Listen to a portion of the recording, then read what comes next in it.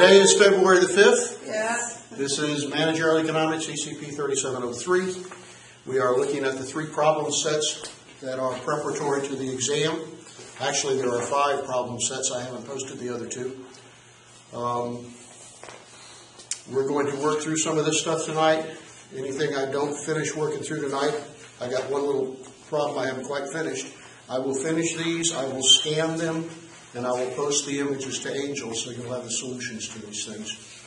That said, some of the discussion parts of the answers, uh, I don't flesh out on paper. That's more for discussion. So if you get questions about that, you want to post them on Angel to the discussion for- forum, or if you just want to chat about them here in class, that's good, and I'll post this video hopefully the next day or two for everybody else. Okay? Good. Now, what's on your mind? What's going on?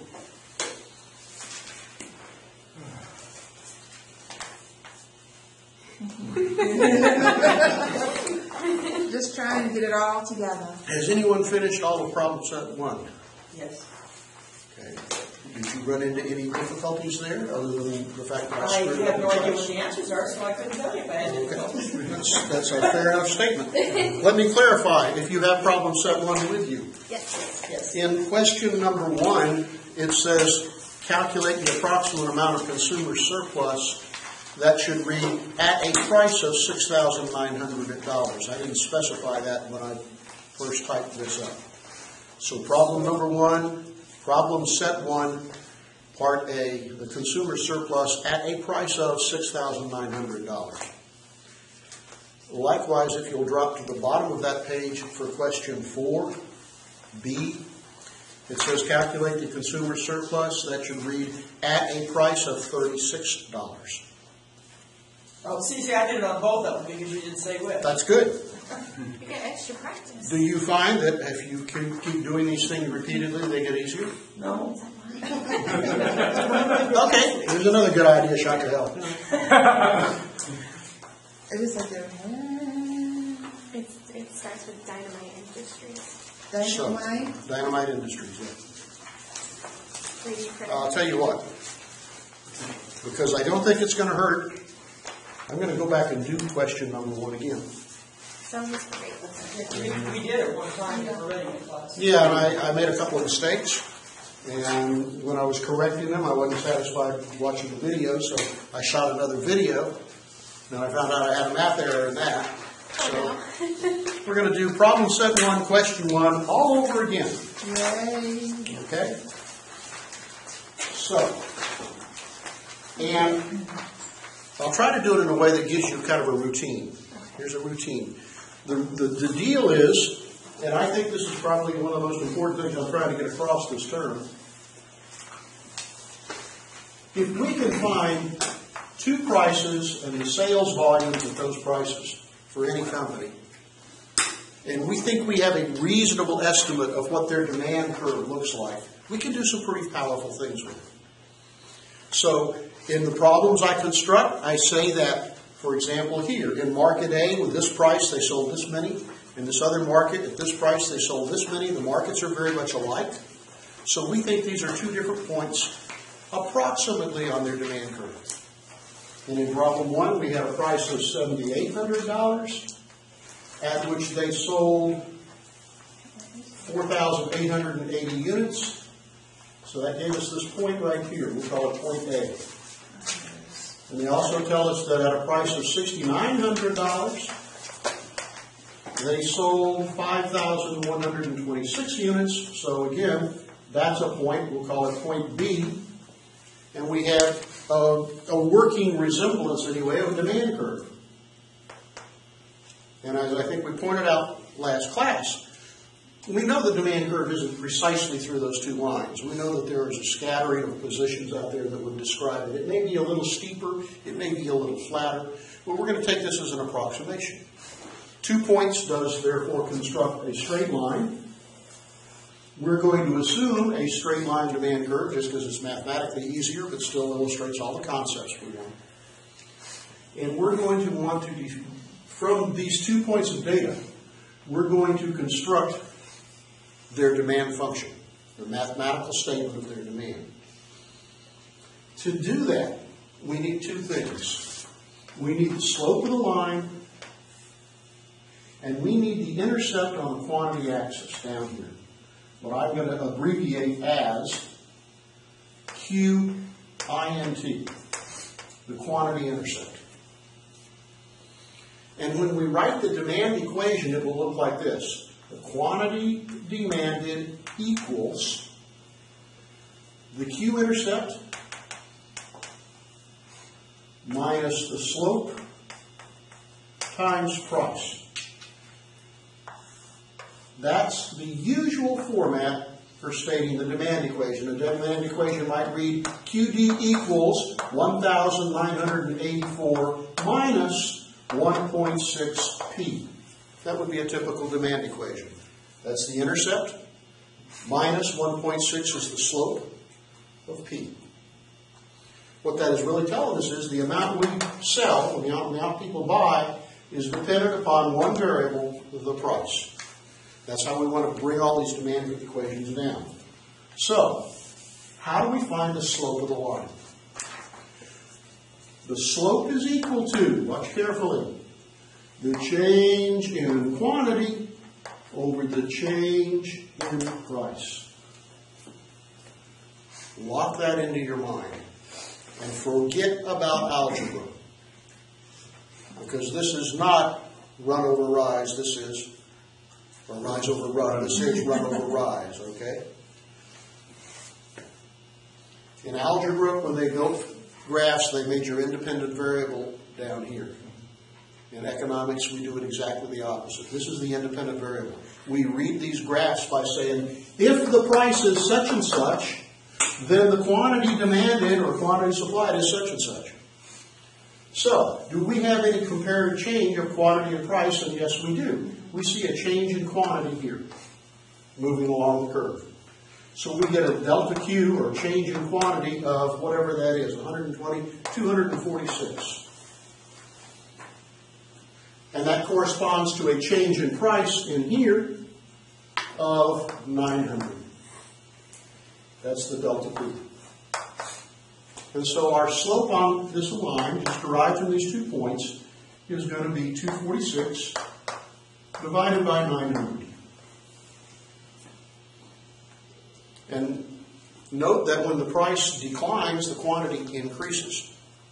So if this is a negative change in price, it's a positive change in quantity, the slope of the line going down is always going to be negative for a demand curve. And when we take this out and divide it, it's negative 0.273. That's the slope of the line. I'm sorry, can I ask just one question? No. Um, Waiting all night for that. That's payback for last week. I'm that's sorry. right, that just started. I'm sorry, the, the reason the nine hundred is negative is because, If we, if, if we go from this point to this point, oh, it's, it it involves a negative change in price corresponding to a positive change in quantity. Good, good clarification. Okay? So, and when we look at our usual format for a demand equation, this is going to be minus 0.273p. Okay? And now we got to figure out what is the quantity intercept? That is, what is the quantity associated with this point when the demand curve crashes through the horizontal axis? So that's our next step. How do we figure out the quantity intercept? Well, let's go from point B down to the intercept. Okay?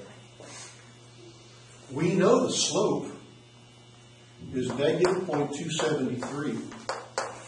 And we know that it is the change in quantity for a corresponding change in price. We don't know how much this quantity is going to change. That's what we're trying to figure out. So dq divided by, but we do know how much the price has got to change. It's got to go from 6,900 to zero. So this is a negative 6,900. Oh, cool. You see how I did that? Yeah, And once you do that on three or four of these problems, it's pretty automatic. so you would take, all right, I forgot it, don't worry about it, don't worry, I'm sorry. Go ahead, go ahead, get that written down. How do you solve for delta Q? You cross multiply, right? Sixty-nine hundred times both times, both sides. So delta Q is 0.273 negative times nine hundred and I wrote that down somewhere.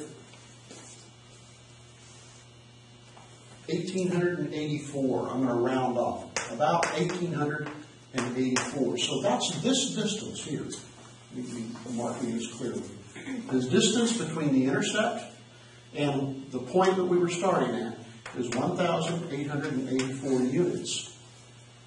That's 0.273 times nine hundred. Now I'm No. Yeah. Sixty-nine hundred, right? Thank you. Yeah. Um, Yeah, but- Yeah, but it's still Thank you. eighteen eighty-four. Yeah, it's still eighteen eighty-four, this is a sixty-nine hundred, my mistake. I borrowed the nine hundred from up there for reasons known just to me and somebody else. I don't know. So, eighteen hundred and eighty-four, so we add the eighteen eighty-four to the fifty-one twenty-six. And we get our intercept, which is seven, zero, one, zero. That's our intercept. would it be negative eighteen eighty-four? No, because the quantity is gonna increase. Okay, As I go from this point to this point, I'm going further out this axis. okay. Good, good question. Keep me honest.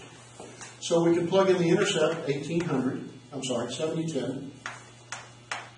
And that's our demand equation. QD equals seven zero one zero minus point two seven three P. And there's two or three problems like this in the, in the problem sets, but it wouldn't hurt you to create some of your own and just practice doing them.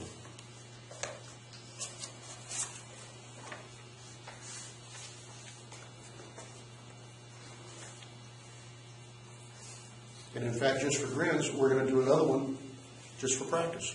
I'm gonna make one up real quick. As soon as I think you're through writing this stuff down. Everybody through writing down, taking notes? Mm-hmm. Let's just do one from scratch, just off the top of my head.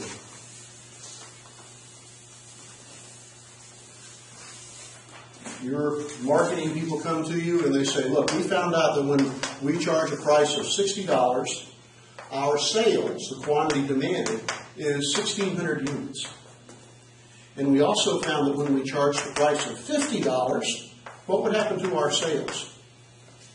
It would increase. It would increase because we're selling it at a cheaper price. Our sales, in fact, go to, I don't know, uh, twenty-one hundred. Now, just from those pieces of data, can you construct for me the demand equation? You want to put a little, you want to draw a little diagram? I think it is helpful to draw the diagram. For I'm a visual person. But if you don't want to, uh, that's okay. This course is offered every term. Terrible. So 60 and 50 corresponding to 1600 and 2100. That gives you a point here and a point here, and okay, that's kind of the demand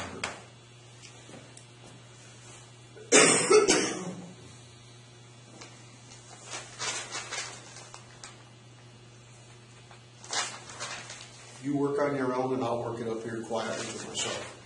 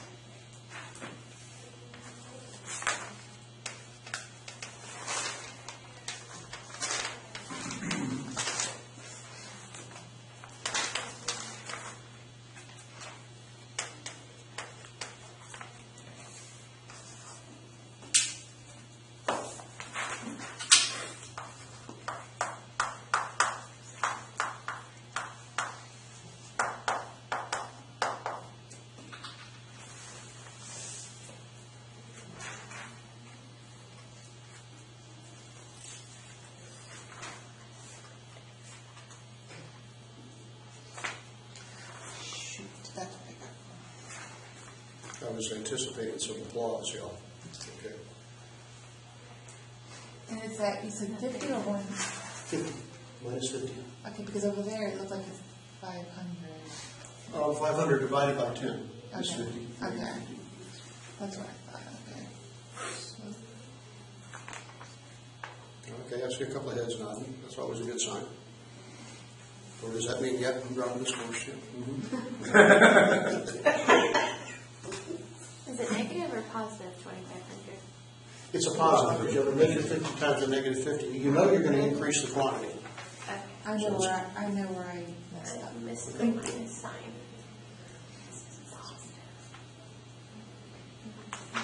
That's why. Anybody else, any questions, hesitation? Just gotta know my signs. Well, remember, you know, if you're gonna go from here to here, prices is going negative while quantity is going positive. But if I forget it there, I might forget on other stuff, so I gotta make sure I. Yeah, and and again, to me, that's why the visual is so helpful too. Okay, so far. I want to do one thing else on this sample problem right now. I'm going to erase this stuff up here in a second, okay? I want to figure out what my price intercept is. I'm going to need to know that when I start talking about consumers surplus. So, how do I find the price intercept? Make the quantity zero. Yeah, the quantities, I can start from this point, or I can start from this point, okay, but how do I find the value for this intercept? You go right back up here, except if you're gonna go, let's say you're gonna go from here, let's go from this one, right? Twenty-one hundred and fifty dollars, okay? What's what's gonna be delta Q when I go from here to here? What's gonna have to happen to Q? It's gotta decrease by twenty-one hundred, see that? So go back up here.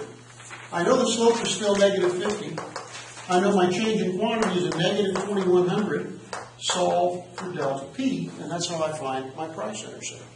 So you just have to change it around and just plug in the numbers? Yeah, I, in the first calculation, I knew this number. Okay, In the second calculation, I know this number. okay.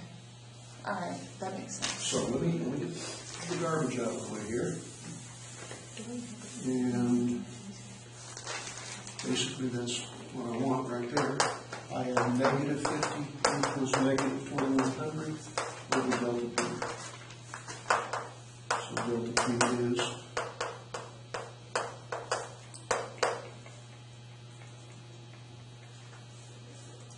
how much that is?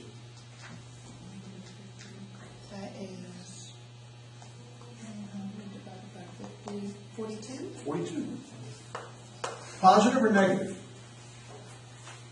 Look at the graph. I'm going from here to here. What happens to price? It- it Price was- increases. So it's positive. Positive. So this is a positive forty-two. I started here, right? Mm-hmm. I'm going up forty-two, so my intercept, this is not drawn to scale, but my price intercept now is fifty plus the forty-two, it's ninety-two.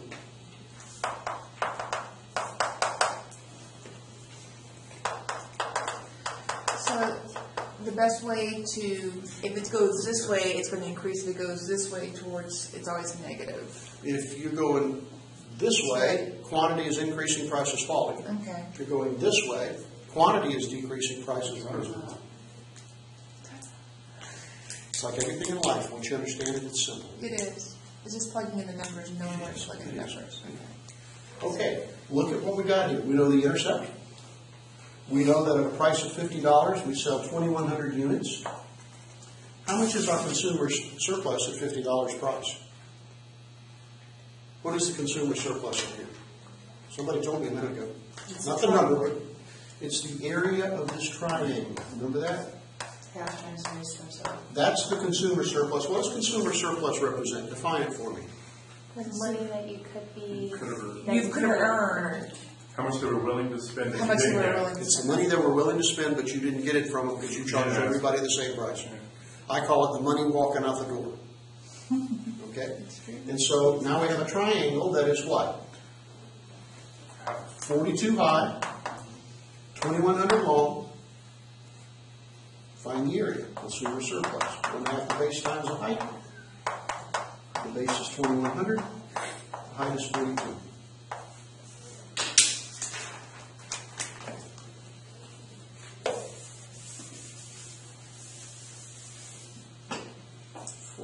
Forty-four thousand one hundred. Forty-four thousand one hundred. Anybody else confirm that? Good hold on. Good. Bingo, our consumer surplus is forty-four thousand one hundred. I'll slow down, make sure you got your notes correct. And you're allowed to wave at me and tell me to shut up anytime you need to, so you can finish your notes. Well, I will not take it personally. I will not forget it, but I will.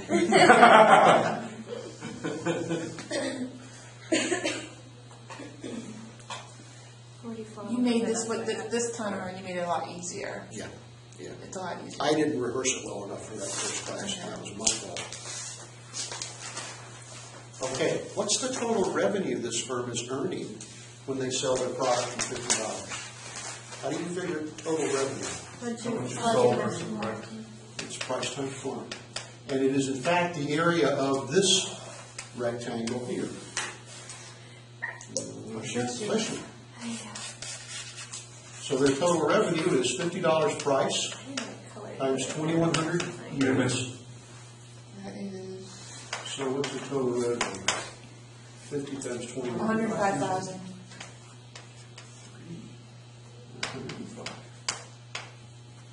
Okay? Everybody okay with that? Yeah. So then, what is the total value those customers received? The TVR, the total value received by the customers. You add them together.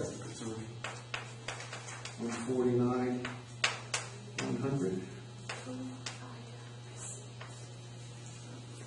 Wait, how did you get the total value? You add the consumer surplus plus the total revenue, Okay, so consumer. total value received. Okay. So how are you, how are you doing in your business up here? Hmm. You're getting about hundred thousand out of hundred and fifty thousand. You're not doing too You're shooting at about a six point sixty-seven percent performance relative to the theoretical maximum. Okay? Now, the second part of this course, we're going to get into some discussion on how do you get some of that consumer surplus. We already know some of the basics. We offer price lining. What is price lining? We offer this same basic product in three different price ranges with just, you know, minor differences in them. Slight variations or additions. Say again? Slight variations or additions. Yeah, on if it top was of a lawnmower, we got our basic lawnmower for fifty bucks, we got our lawnmower with a bagger on it for seventy-five, and we got our electric start lawnmower for hundred and twenty-five, bingo. Okay, how are we doing so far? We did talk about, or did we not talk about selling knives? Yes. Yes. Right, and so that's where one-on-one sales force, that salesperson's job is to capture as much of that consumer surplus as reasonable without alienating anybody. Okay? So what I would suggest to you, make up your own two points of data and go at it. Do that three or four times and it's, it's just mechanical. Okay? Can I erase the board now? Yes.